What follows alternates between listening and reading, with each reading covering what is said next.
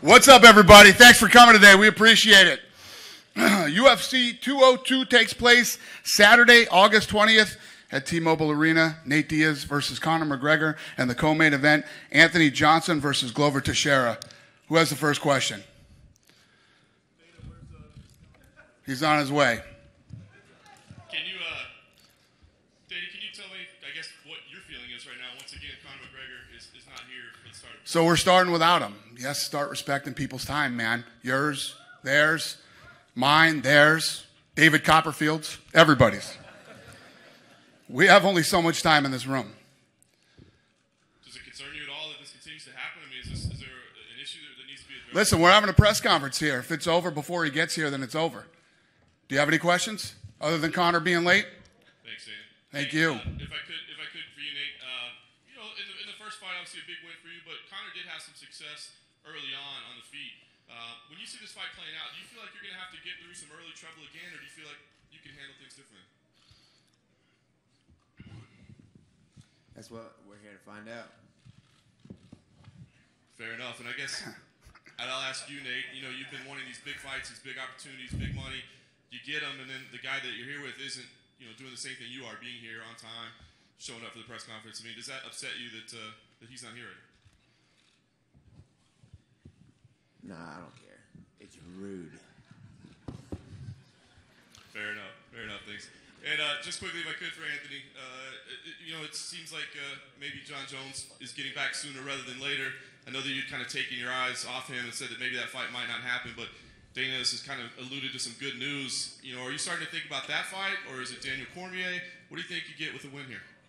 Um, hopefully I get Daniel. I mean, Jon got to deal with other other people besides worry about me or me worrying about him. So I'm not really focused on Jon. You know, I got I, hell before I get to Daniel, I got to get past this beast that's to my left over here. That's a Brazilian killing machine. You know, Glover. So um, yeah, that's I'm just focused on that and not really worried about either one of those guys. Thanks. Ask the same thing for Glover, if I could, please. I think most people consider this a number one contender fight, but it, you know, if you're able to get past Anthony Johnson, would your eyes most be on Jon Jones or on Daniel Cormier? Uh, Daniel Cormier is the champion now, so um, you know that's why I ask um, the fight with Anthony Johnson first because uh, he's the number one contender, and uh, you know I, I have to beat him so I can can fight for the title. And uh, after this fight, yeah, we fighting for the title. Daniel Cormier, you know, already saying I I. I don't know. I didn't heard from him, but I, I heard the Dan already say that they're winning this fight to fight for the title. I, I don't know what's going on with with Jon Jones, and um, I don't really care either. Nate, it seems like this fight has boxing match written all over it. Do you? What's your mentality in regard to you know being able to take his best punch and over the course of you know whatever it be, 25 minutes, being able to wear him down with your punches? Uh, I'm a mixed martial artist. Uh, I like do kicking and grappling and everything. So it's a mixed martial arts fight. Uh, I always train hard to be in the best shape I can in or out of season. So we're gonna have to uh, get in there and see see what happens in the fight. And that's what that's what I'm here for. That's what we're all here for. Obviously, the weight advantage you have is, is something that seemed to play a role in the, in the first fight. How do you try to lean on that again and make sure that you you know repeat what happened in this one? I know, but it's not that big of a weight advantage when he's talking about coming up to welterweight, fighting Robbie Lawler and taking the belts and all this stuff.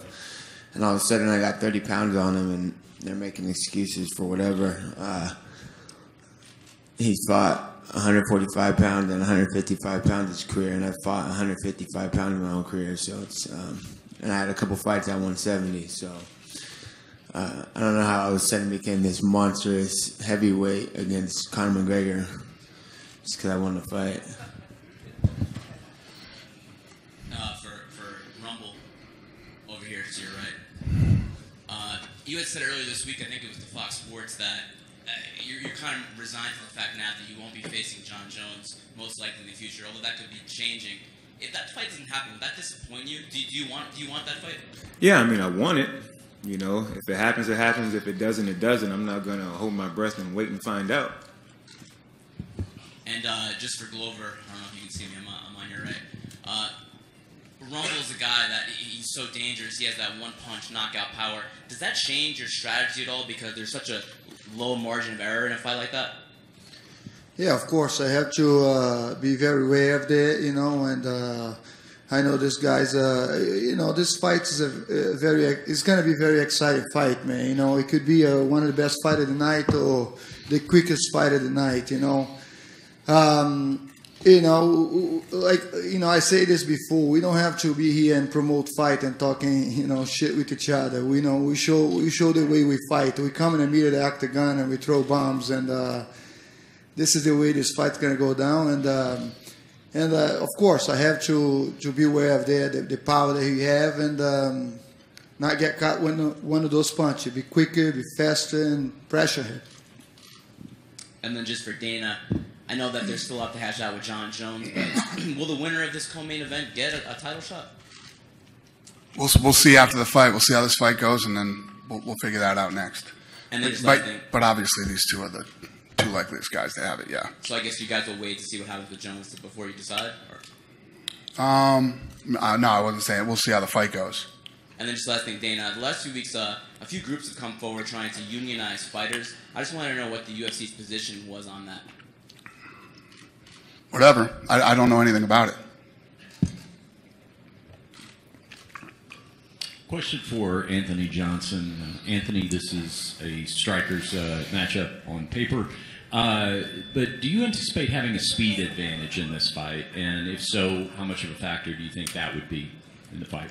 Um, yeah, I think I'll have the, you know, speed and uh, disadvantage. But uh, other than that, I think the fight is pretty much, you know, equal. Glover's strong, I'm strong. It's, both of us are explosive and very powerful. So we'll we'll see. You know, with with a fight like this, when you got two guys who aren't afraid to to throw down, sometimes speed plays a, you know, key role in this, and sometimes it doesn't. Just depends on who comes in you know who who make who who makes the least amount of mistakes in this fight. In my opinion, that's what's going to be the, the big the big the big thing with this fight. And question for Glover. Uh, Glover, we're talking a lot about the fight on the feet, but we can't discount the possibility of a ground game. Anthony brings a, a wrestling uh, background. You've got jujitsu. Uh, what pers- what part of your camp has been spent preparing for the possibility of that ground game, and maybe maybe seeing some grappling from you that we haven't always had to see in the past because you've had so much success with your hands? Well, I'll prepare for everything, man. You know, I'm. Um, I know Anthony have uh, some uh, gr- great wrestling, you know, and uh, you know I have some good wrestling as well. And uh, I see, you know, see how the fight goes. You know, I'm not. I have. I'm. uh, I've been in this, sport for a while, so. Um, you know, I see where the fight goes. What's open, you know, if he let the uh, open over there, I will try to take him down, and I'm I'm aware that he will try to take me down too. It depends uh, of the opening, so I'm prepared for everything. So, you know, I'm not I'm not saying that I'm gonna stand there and strike with him or or not take him to the ground. You know, this is an MMA fight. That's why it makes the the sport so exciting. And when you fight guys like that, you know, you have to train for everything, everything. Rest. I have. I bring wrestlers in. I bring uh, kickboxers and uh, you know a lot of jiu-jitsu guys. So I'm ready. And lastly, a question for Nate Diaz. Uh, Nate, you're a very difficult fighter to finish. That's only happened a couple of times. Obviously, Conor McGregor is going to believe he's going to win the fight, but how much of a miscalculation do you think he's making in saying that he's not only going to finish you, but that he, he's going to do it very early? That's what he said last time. Um, uh, I think he's got a lot of uh, people around him, and he's trying to pump himself up, and he's either lying to himself or to the to the to the world about his confidence, or trying to make himself believe it. But he know he remembers what happened in the last fight, and uh, I think it's a little silly, man. Got got pictures of me up in his garage with a him punch me in the face. Like, what the fuck? Who does that? That's like trying to make yourself believe something. That's all. I, I just think you know it's um. He's trying to hype him, his own self up, but when he goes to sleep at night, he remembers what happened the last time. Thanks. I have a question for Dana White. Just over here, Dana. To the other side. Just over here. Um, during the media scrum that Conor McGregor did, he sort of gave the impression that he won't be defending his title regardless what happens after this fight with Nate. I'm just wondering, where do you stand on that? Regardless what happens on Saturday, will he be defending his featherweight title? Yeah. 100%. Yeah. Or giving it up. Okay.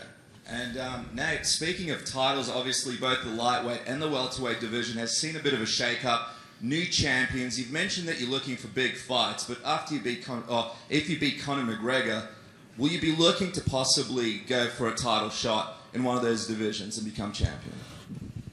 I think those guys need to get to work and do a little something for themselves because don't no one even know their names. Uh, they, they need to. Uh, I'm not interested in those fights. I'm interested in big fights, and and uh, maybe those guys should fight each other. Make make uh. they want to make history. They want to fight me and this guy. It's like do something with yourselves first and make some some noise and, and create something. Otherwise, I'm just fighting another guy because he's got a belt. I don't think that's a very big deal. Just my final question for Anthony Johnson. Anthony, if you get the rematch with Daniel Cormier, if you do beat Glover, how do you see that rematch going differently to your first fight? Uh, hopefully, when I hit him, he stays down. He doesn't get back up like he did last time.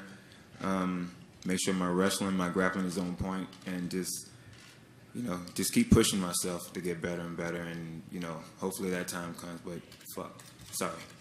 Um, y'all stop talking about Daniel and Jon. I gotta fight Glover, man. I'm tired of hearing that name.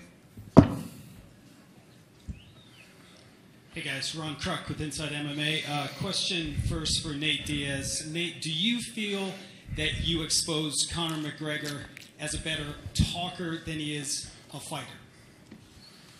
Uh, I didn't. I just think I, I beat him, you know, and I thought I could beat him the whole time. And um, I think that he's a good fighter and a, and a good talker. It's whatever, you know.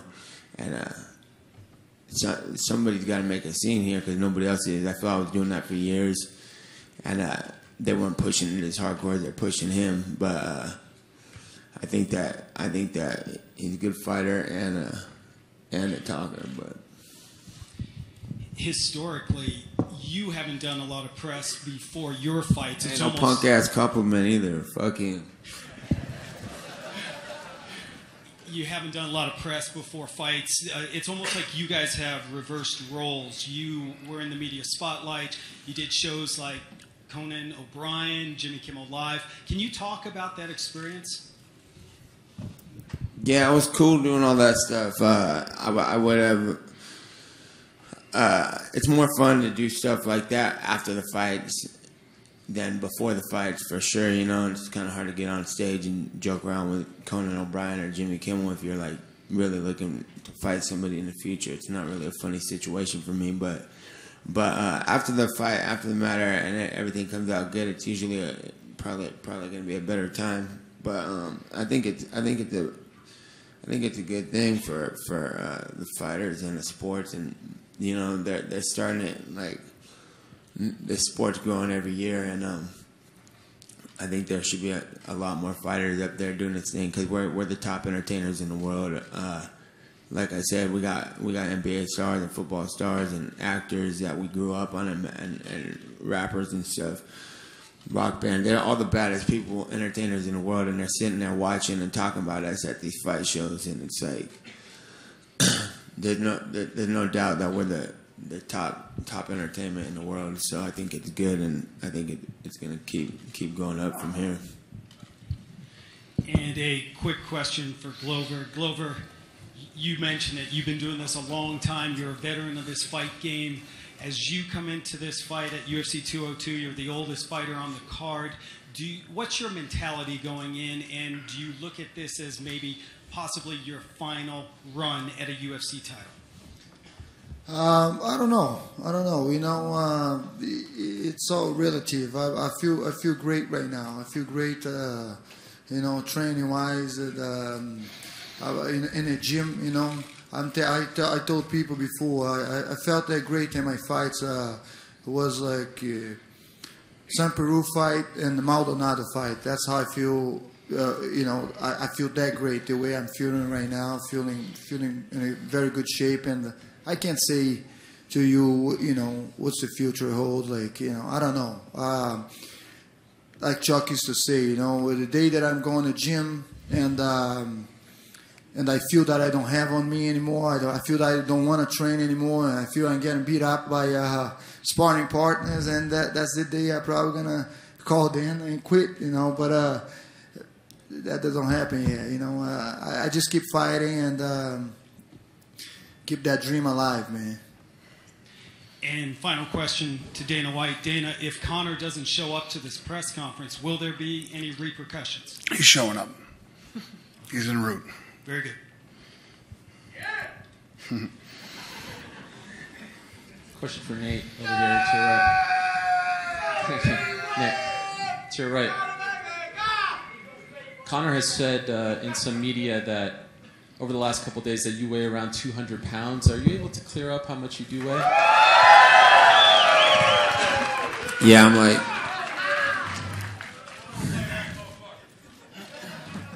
One seventy five, two hundred pounds, something like that. Uh, you also said that uh, the game is going to change if you win. You told that to Yahoo Sports. What do you mean by that? It's already changing. How so? Can you elaborate on that?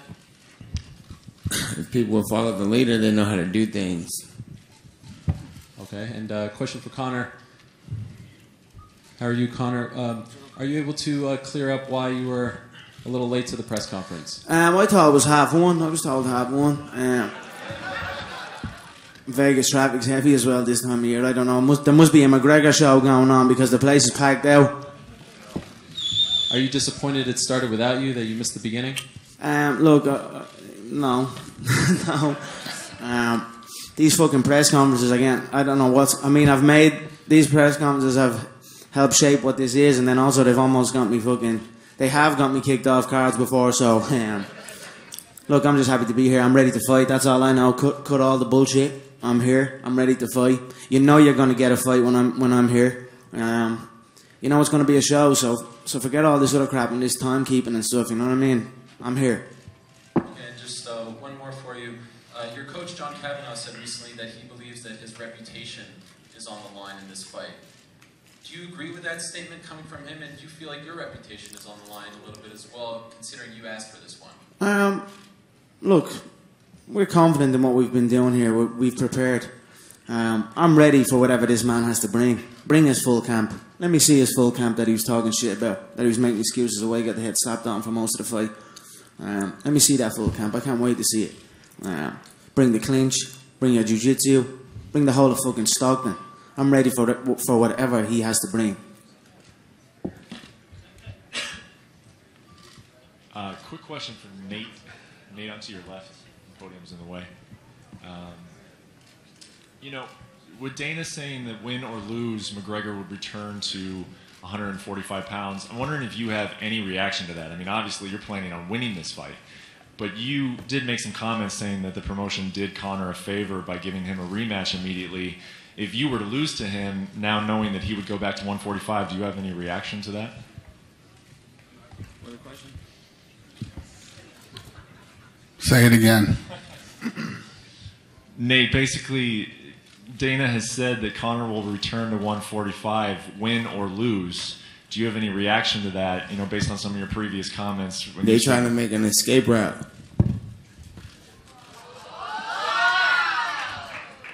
And I guess Conor, would you feel any obligation to give him a rematch relatively quickly? You know, just based upon the fact that, that you were able to get one with him right right away.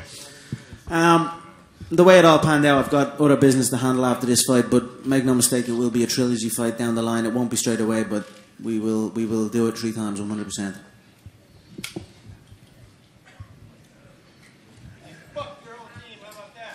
Your whole team, little crackhead essays.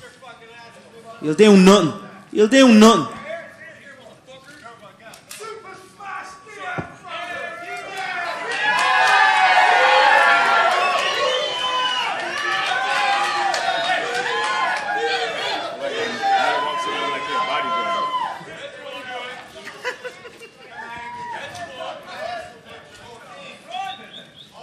Shut your fucking mouth, you'll do nothing. You'll do fucking nothing. Not one of you will do nothing. Get the fuck out of here. Get the fuck out of here!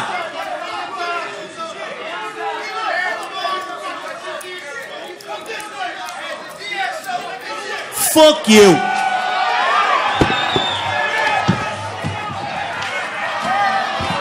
That's all right. Hey, hey, hey, Conor. Conor, don't throw those fucking. Can't, Conor. Conor. That's a wrap. Get him out of here.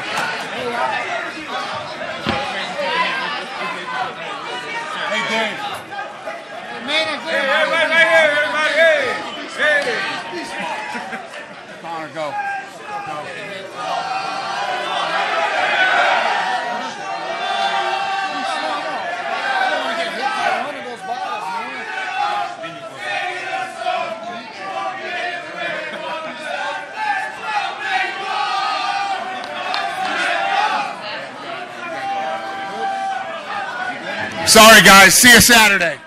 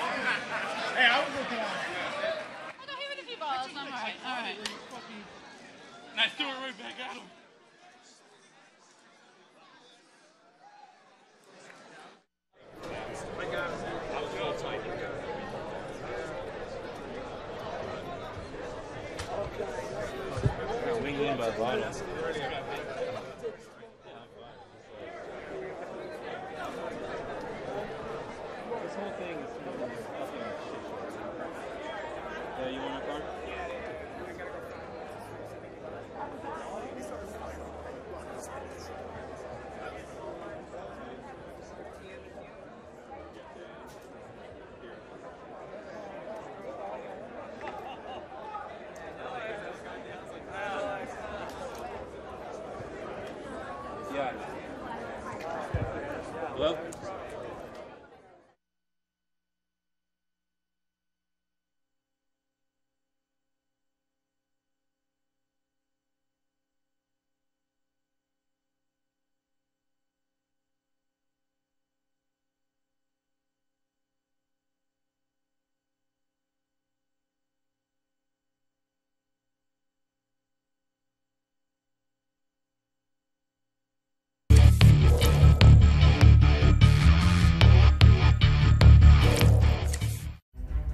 Fighting Alistair Overeem is just going to be a great opportunity for me.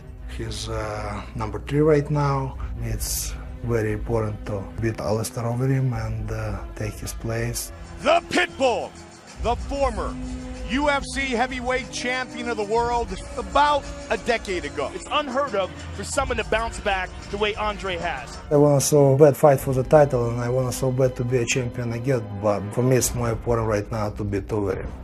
And I can wait for the title. I don't care. I just, I just want to beat Overeem. That's it. Period. Alistair Overeem. When you talk about decorated mixed martial arts fighters, they don't get much more decorated than this man. Overeem has uh, great kicks, very heavy punches, and uh, and uh, have to be ready for this. My goodness! Alistair Overeem by TKO! No doubt I have more heart than uh, Overeem, but I have to remember that in the heavyweight division, you know, everything pretty much can end, end by one punch. Oh, he's got it! Andre Arlovski has done it! I hope so. It's going to be a very exciting fight for the fans. Overeem, he's going to be very smart and very accurate, and I'm going to be very smart and accurate too. Oh, Arlovski caught him! Oh, back fist! It is it's over! Unbelievable! That fight's not go- going to hold five rounds. I will knock his ass out.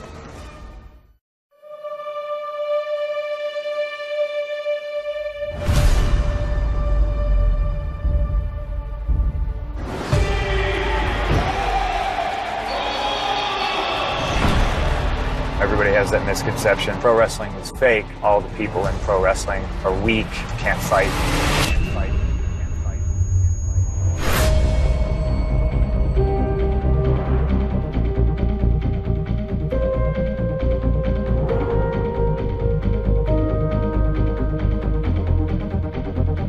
Why can't I? I can try this. I was definitely a bit of an outcast. I didn't really fit in. Why are you crying? I love you so much. Too much, kiddo. I'm 0 0 and I'm, I'm getting this shot in the UFC, and it's not right and it's not fair.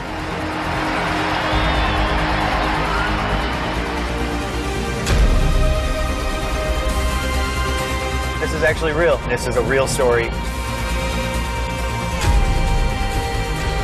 The athlete gets in the ring himself, you know, and it's self discovery. It might not work out. It's your career, not their career. Fast, boom, faster, faster.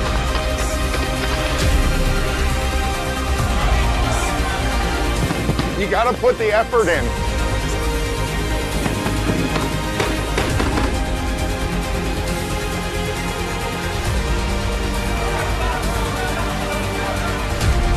This is their world. I'm just getting started in it.